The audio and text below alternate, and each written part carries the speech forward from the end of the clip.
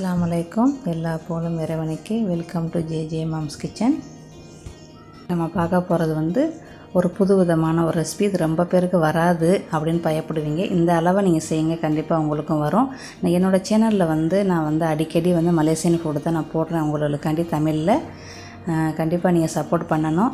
இந்த மலேசியன் ஃபுட்டை விரும்புகிறவங்க சப்ஸ்கிரைப் பண்ணி வச்சுக்கிறோங்க லைக் பண்ணி வச்சுக்கிறோங்க. அப்படி போடுற வீடியோக்கள் எல்லாம் உடனே கொண்டு வரும். இந்த புடிங் செய்கிறதுக்கு ரொம்ப குறைவான ஜாமான் தான் இவ்வளோ தானா அப்படின்னு நீங்கள் கண்டிப்பாக நினைப்பீங்க. செய்ய செஞ்சு முடிக்கும்போது கண்டிப்பாக அது ரொம்ப ஒரு நல்ல ஒரு டேஸ்ட்டாக இருக்கும். நீங்கள் கண்டிப்பாக ட்ரை பண்ணுங்கள் இப்போ அவங்க வீடியோவுக்கு போய் பார்ப்போம். புடிங்குள்ளே கோப்பை ரெடி பண்ணுறோமா இது உங்களால் இருந்தால் செய்யுங்க இல்லைன்னா பிளாஸ்டிக் கோப்பையில் ஊற்றி வச்சுக்கிறோங்க. இல்லைன்னா மங்களை கூட நீங்கள் ஊற்றி வச்சுக்கலாம். குட்டி குட்டி மங்களை இது வந்து வாழை இலையில் செய்கிறது நெருப்பில் காட்டி செய்கிறதுமா நெருப்பில் காட்டிட்டு இல்லைன்னா வெயிலில் காட்டிட்டு அழகாக நீங்கள் இப்படி ஏதாவது ஒரு கோத்தாவை வச்சு இப்படி மடக்கி பின் போட்டீங்கன்னா முடிஞ்சிருச்சு.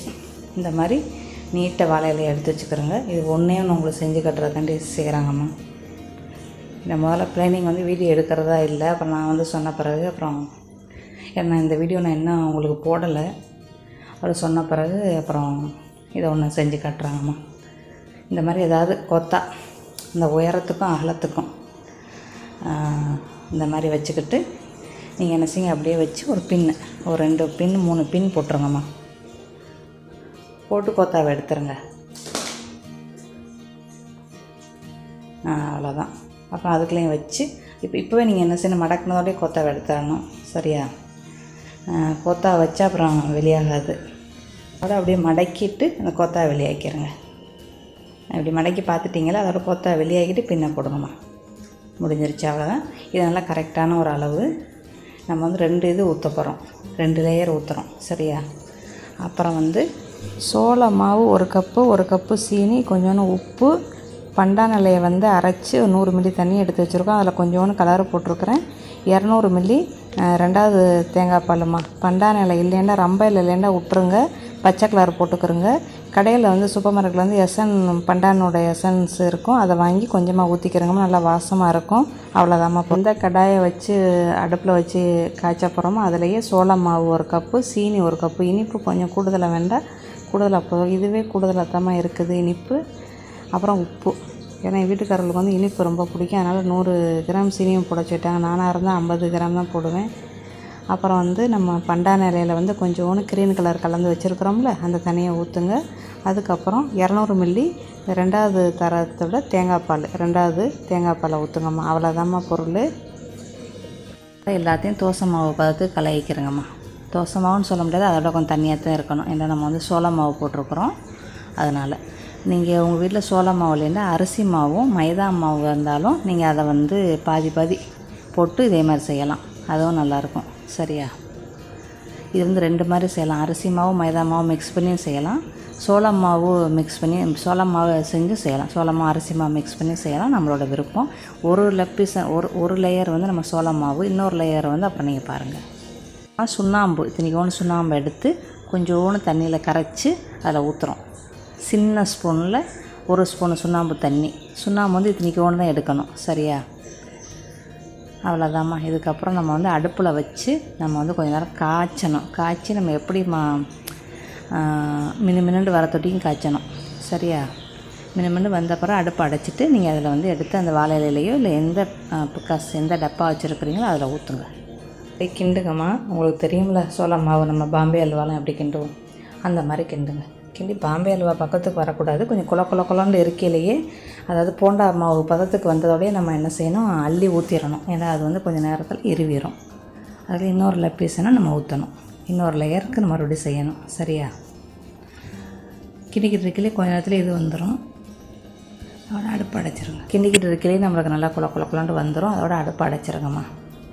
இப்போ பாருங்கள் வந்துருச்சு. இதோட அடுப்பு அடைச்சிட்டு நம்ம என்ன இது வச்சுருக்குறோமோ அதில் வந்து சட்னி ஆப்பை இருக்குது பார்த்தீங்களா?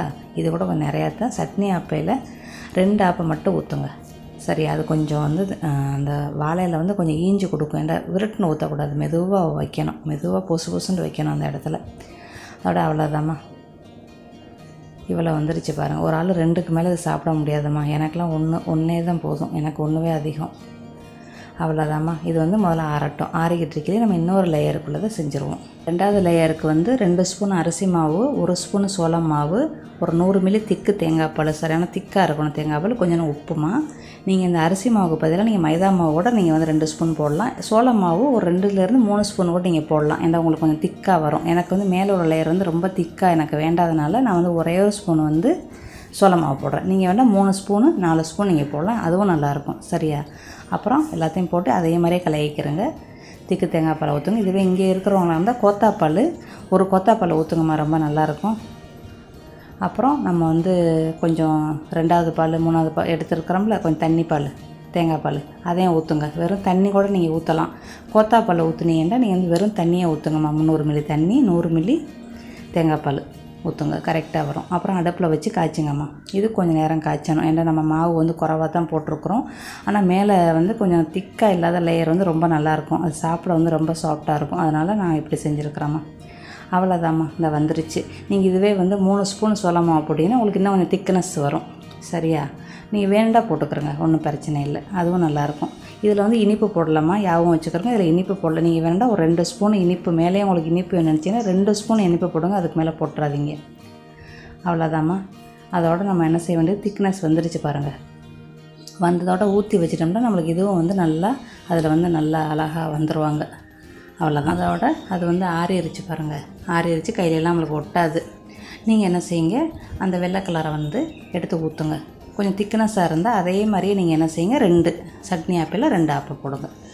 நம்மளுக்கு வந்து கொஞ்சம் தோசை மாவு மாதிரி இருக்கிறதுனால நாங்கள் வந்து கோழிலே வச்சு ஊற்றுறோம் இதுவும் வந்து நம்மளுக்கு அழகாக எரிவிடும் சரியா?